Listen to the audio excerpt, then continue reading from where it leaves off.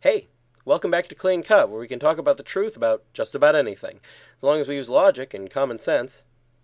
This season, we're looking at some additional issues that I've seen brought up in various comments, replies, and requests, but which I haven't already done videos on.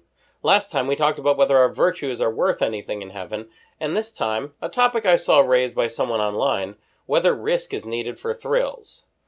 This person was raising issue with the whole idea of heaven by arguing that certain things about it sound good at first, but ultimately wouldn't make people happy. They said that some of life's most thrilling experiences involve risk, such as, for example, skiing or parachuting.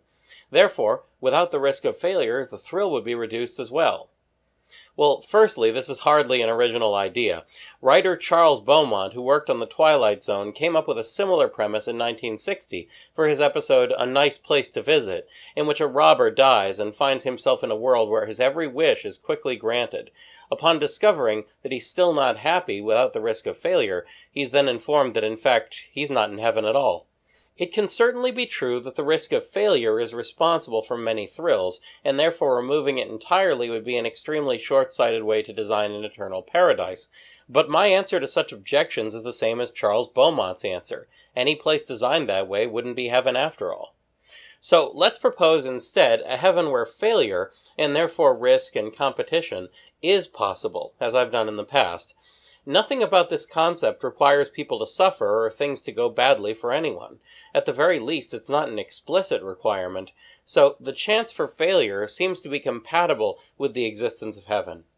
There is, however, a kind of failure that would be impossible in any faithful understanding of heaven death. However, the reality is that most people who engage in dangerous, risky athletic events don't do so with the intention of almost dying. Skiing, for example, or race car driving are activities that provide some thrills because of the chance of failure, but it's mostly the rush of wind and adrenaline and the experience of moving so quickly that make them thrilling. Much of this experience can be preserved without even moving at all through movies, video games, and fans, and we know that those in heaven can move much faster than people here on earth can. We can also show that the risk of death isn't necessary for thrills by using parachuting as an example, since people who parachute could potentially die if their chute fails. Suppose that I were to ask a person about to parachute if he was about to have a thrill. He'd probably answer with something like a yes. Next, I offer him a choice between two parachutes, one that's been carefully inspected for safety using methods that comply with all regulatory guidelines. The other one has also been inspected for safety, but for 10% less time than recommended. Now, which of these parachutes would he derive more thrill from using?